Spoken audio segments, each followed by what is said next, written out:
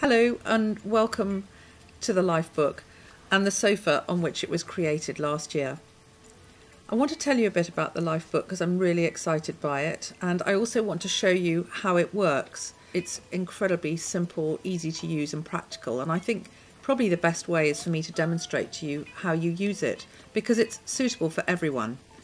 You can use it on two levels. One is just to open it randomly and dip into it. So let's say um, you've got a problem about your work-life balance, you're working too hard. You just find work-life balance, it's all arranged alphabetically, you find work-life balance next to this gorgeous W and you read away. There's always a project or a thing to do or a light bulb moment at the end of each entry. So it takes a minute of your time and um, you'll have got something very useful out of it. And the other way to use the life book is by going to the 10 chapters at the beginning and starting off and feeling which is important to you. So let's say you have a, a problem with relaxing. Um, when you, you'll find that out, you can read a bit about relaxing.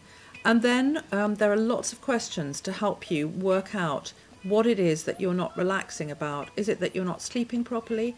Is it that um, you're, you're too worried? What is it that's stopping you relaxing?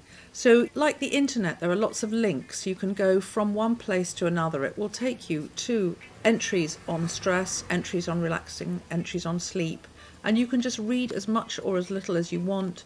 Again, do the projects, have a go at the light bulb moments, and really get something out of it. J.K. Rowling talked about self improvement in her Harvard speech.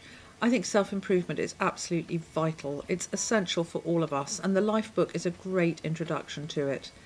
So, if you want to live more, laugh more, play more, or earn more, buy the Life Book now. Good luck, enjoy it. Bye.